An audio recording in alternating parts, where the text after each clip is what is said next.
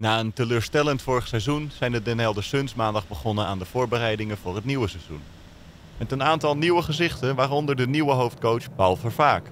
De ervaren Belg keert terug uit zijn pensioen om het team door de B-Next League te leiden. Vervaak is geen onbekend gezicht in Den Helder. Van 2005 tot 2007 was Vervaak al actief bij Cape Holland. Bijna twintig jaar geleden was ik hier ook en ik vond het hier heel tof om te werken. En nu spreekt het me zeker aan. Nieuw project, uh, nieuwe zaal, uh, structuur. En uh, ik was vlug verkocht om terug te komen coachen hier. Vorig jaar geen succesvol seizoen voor de Suns. Wat gaat u dit jaar anders doen?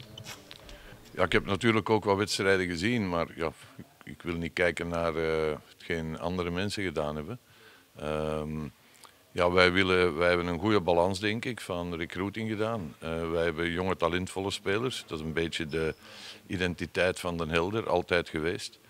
Uh, om daarmee te werken. En dat aangevuld met uh, toch uh, spelers uit Europa met een bepaalde ervaring. En zeker het basketbal brengen dat we willen spelen. aantrekkelijk basketbal, maar ook efficiënt basketbal. En ehm, in die zin hebben we ook gerecruit. En, en ik denk dat, wat was er een beetje weg in Den Helder, dat was volgens mij de identiteit van het Den Helders basketbal. Als ik dat vergelijk met vroeger ook nog, de, toptijd van Den Helder en daarna. En dat is een beetje weggegaan.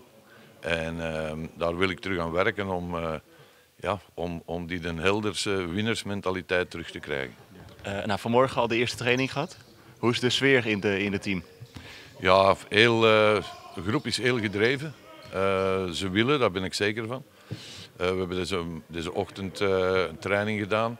Maar je ziet dat er echt, ja, dat ze hunkeren om een goed seizoen te spelen en om beter te worden. En dat is natuurlijk het eerste dat er, dat er moet gebeuren, dat is de mentaliteit. Dus die is er. En nu is het ja, hoe dat we gaan werken natuurlijk. Vanaf 24 augustus starten de Suns met oefenwedstrijden en op vrijdag 13 september zal in Antwerpen de eerste competitiewedstrijd worden gespeeld.